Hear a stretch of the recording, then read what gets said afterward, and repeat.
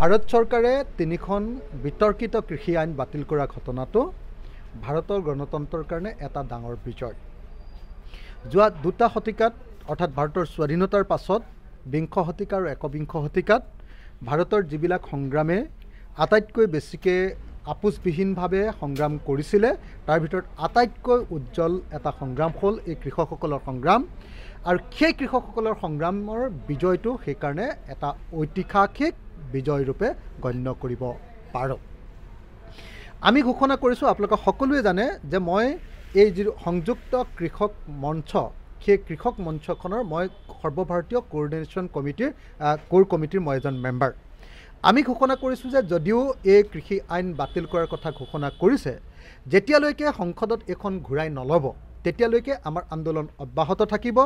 সেইকাৰণে অহা ছাব্বিছ তাৰিখৰ দিনা ছাব্বিছ নৱেম্বৰ তাৰিখৰ দিনা আমাৰ দুবছৰ পূৰ্তি হ'ব এই সংগ্ৰামৰ। আৰু সেই সংগ্ৰামৰ দিনা আমি অসমতো তাৰ বিৰুদ্ধে প্ৰতিবাদ সাব্যস্ত কৰিবলৈ ইতিমধ্যে পৰিকল্পনা কৰিছোঁ। কৃষক মুক্তি সংগ্ৰাম সমিতিৰ নেতৃত্বত এই সংগ্ৰাম হ'ব।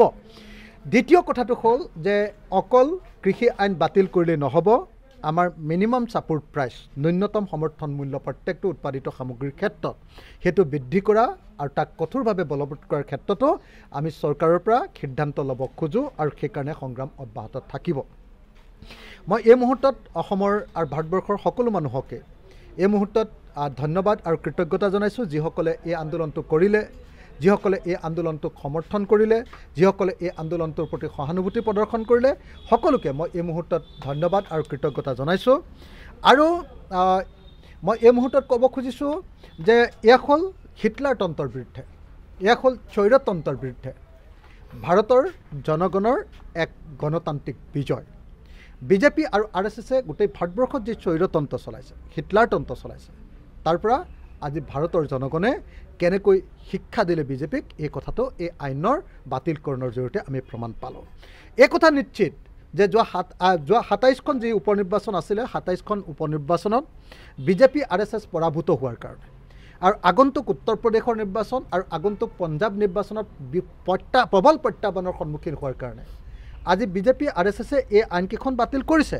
কিন্তু এই সম্পূৰ্ণ বাতিলকৰণৰ কৃতিত্ব লাভ কৰিব ভাৰতবৰ্ষৰ কৃষক সমাজে কৃষক আন্দোলনে আপোচবিহীন সংগ্ৰামে।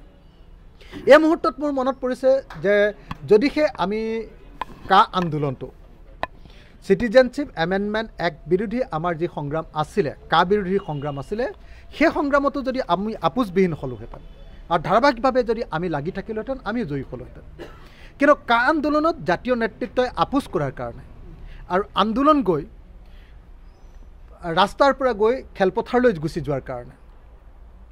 তো এনেকৈ আমি দেখিলোঁ যে কা আন্দোলনটো বিফল হ'ল।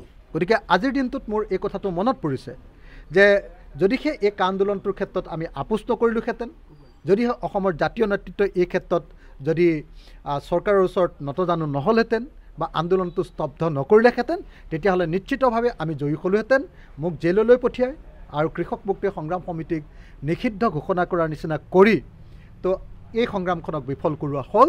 মই সেইকাৰণে এই মুহূৰ্তত আজিৰ এই বিজয়ৰ মুহূৰ্তত ভাৰতীয় গণতন্ত্ৰৰ এই বিজয়ৰ মুহূৰ্তত বিতৰ্কিত তিনিখন আইন বাতিল হোৱাৰ এই পবিত্ৰ মুহূৰ্তত মই অসমবাসী ৰাইজক আহ্বান জনাইছোঁ আহক আমি সকলোৱে মিলি কাৰ বিৰোধী সংগ্ৰামখন পুনৰ আৰম্ভ কৰোঁ।